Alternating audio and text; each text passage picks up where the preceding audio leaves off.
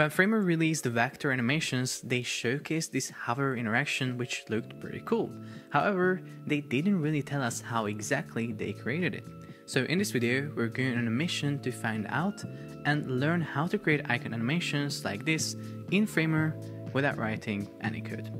My name is Nandi, this is Framer University, and let's get started. So yeah, if we look at the Framer Spring event, we can see something like this here. Look at this hover state, it looks so cool as this icon gets animated. But yeah, the problem is that they didn't really tell us how it's created, so I'm gonna show it now. First of all, we're gonna get the icon. So it's actually from the Phosphor Icon pack.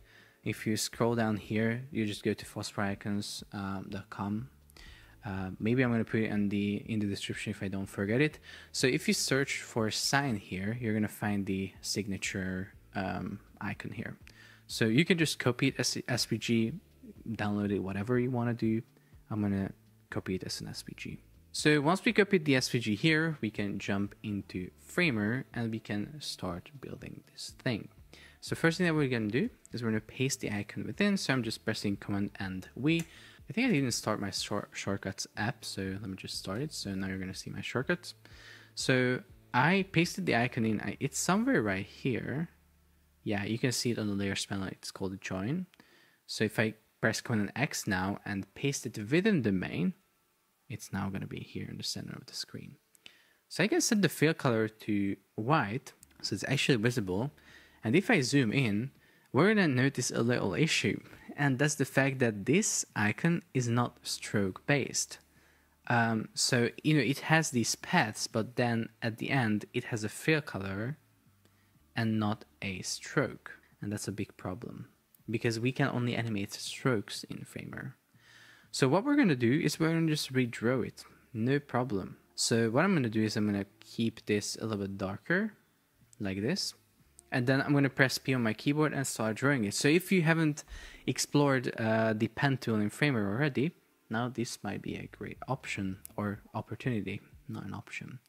Uh, so I'm going to click here, click and drag. And then I'm going to put this point here, click and drag then I'm gonna put this point, I don't know, somewhere, somewhere here. It doesn't have to be perfect because then you can later like tweak these points. Then I'm gonna click here, just simply click, I'm not gonna drag there. Then I'm gonna click and drag here. Then I'm gonna again click here and then click and drag. And then you can see we have these nice little curves. Pretty cool. Once I have this, this path, I can change the width on the right panel to 2 so it's a little bit thicker.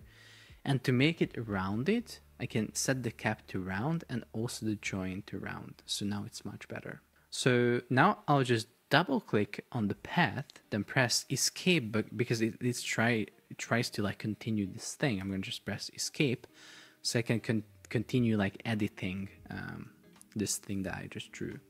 So I'm gonna like adjust the curves with these little handles.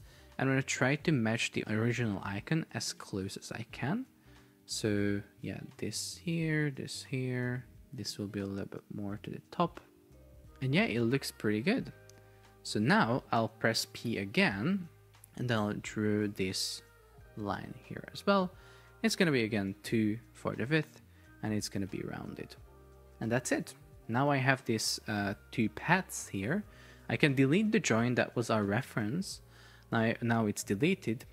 And I can group these two paths in a, in a group so that we can then create an icon from it. So I'm just selecting it, right click and the group, or we can also just press Command G on our keyboard. So now we have this, I'm going to set the color to white. And to turn this into a vector set, and animate it, we have to right click the group and create a vector set. So we're gonna call this uh, vector set, let's say um, animated icons, but you can name it whatever you wanna name it. So here it's a little weird because we cannot see the icon, right? Well, that's because here this is a this is a different canvas. What we're seeing here, this is where we add all the icons within the vector set, and the, each of the like icons are within a little vector frame, like a main frame. As you can see it on the left layers panel as well. We have the vector here and then within the actual icon that we drew. We just have to click this vector and on the right panel we can remove the fill color from it. So now we can actually see the icon within. So the size of this vector is going to be 24 by 24. So the main frame that's holding the icon is 24 by 24. And then the group within that we created will be centered with either these little icons here, so horizontal and vertical alignment, but I highly recommend learning Option H and V shortcuts for the same actions. Now, once I have this, I can just make this a little bit smaller, like this. Looks much better. Uh, to have a little breathing room around the icon. And that's basically it. I can also rename this vector, so I can name it uh, sign, and that's it. I can also rename this line to horizontal, and then this to curly. So we also know which path is which, and we can rename the group to icon. So now we have everything. If we go to preview with Command and P, we see this icon. It's really tiny. Sorry if it's a little bit not too visible on the video, but here we have the icon, it's not animated, we don't have anything on this yet. Before we do any animation, I want to make sure that we have a color variable for, for this icon because now if you go back to the canvas, I can actually make this a little bit larger here, maybe 120 pixels. On the right panel, I don't really have any controls for the color, so it's just white and that's it. But if I select the path within this icon, so I select both paths, on the right panel, I have the color property. It has a little plus button so I can click this and create a variable out of that. So now if I come back to the canvas, to our desktop breakpoint, on the right panel, now I'll be able to change the color for these individual instances of this vector set frame. Pretty good. So what we know is we can animate these vectors or these strokes by selecting them, going to the top right, and adding a stroke effect to them. That's basically it. Now if I go to preview, it will like animate. I'm gonna go to the canvas though to make it a little bit larger. So you can see it just animates here, but you know, the question is, how the hell am I gonna make this animate on hover? Because on the original, so if I come here to the video, when they hover over, it plays. But here in our version, it just plays when we load the website. So this is what we're going to explore now. What we have to do is we have to remove the stroke effect from this instance.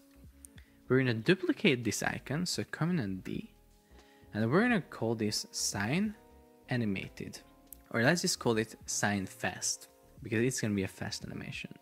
So here, we're going to add an animation to these two paths, so on the top right, effect stroke, we're going to set the easing to ease out, so it starts off as fast and slows down. It's going to be time 2 seconds, so it's going to take 2 seconds to animate this in, and that's basically it. So now it's going to only animate when we show this other icon. So now here it's not animating, and here, if I select that, it's animating. Really nice. And I have to do another variant of this. So I'm going to duplicate this again. This is going to be sign slow. This is going to be a slower animation because what you can see here. So as I hover over, or it's actually not me who's hovering over, but as this little cursor hovers over, you can see that we have three colors, the base, gray, and then we have a blue that is going really fast, and there is a white that is a little bit slower. So basically, basically that's what we're, we're, we're doing with these two variants. We're doing a fast animation and a slow. So actually, um, I was wrong because this is the slow one because it's two seconds. So instead of fast, I'm going to rename this to slow. And on the fast one, we're going to rename this slow to fast. We're going to have, instead of two seconds, we're going to have 1.5. So it's going to be a little bit faster. So now we have everything we need to create this interaction. We have to duplicate this two times, so we have in total three. The first one will be not animated. The second one will be sign slow.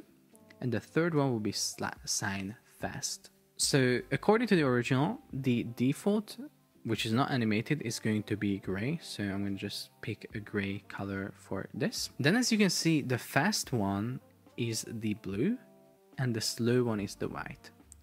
So slow, white, and fast, blue.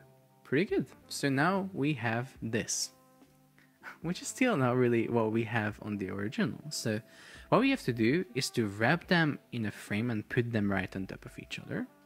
So I'll just wrap the first one in a stack, Option, Command, and Enter. I'm going to set the stack to fit content, so it fits the content within, which is the icon. So Shift A, it sets the width to fit content as well as the height. I'm going to call this icon animation, and then I'm going to put this sign slow within as well. So let's just press Command and X, paste it within the icon animation frame that we created, and set this uh, sign slow to absolute position so it really appears over the you know sign which is not animated the previous icon. I'm going to do the same with this blue one command and x paste it within icon animation and set it to absolute position so it appears over the previous icons. Now if you think about the layering the, on the bottom we have the not animated then we have the little bit faster uh, the the blue and then the slow on the white on the top so sign is going to have z index 1. It's not animated. Then we have slow. Sorry, we have fast. It is going to have z index 2. And then the slow one is z index 3. It is going to be on the very top. So now if we play this, we see this. Really cool. However, it's, it's still it still just happens when we load this site. So how is it gonna be triggered when I hover over this? Well, we have to uh, use components in order to create something like that. So this icon animation frame that we wrapped these icons within will be have to turn into a component, right click create component or option command K. Once we have this, we are on the component canvas where we can create different variants or hover states for these components. So what we're going to do is we're going to rename this default primary variant to default. And then I'm going to press this little thing here and select hover. So we're creating a hover state.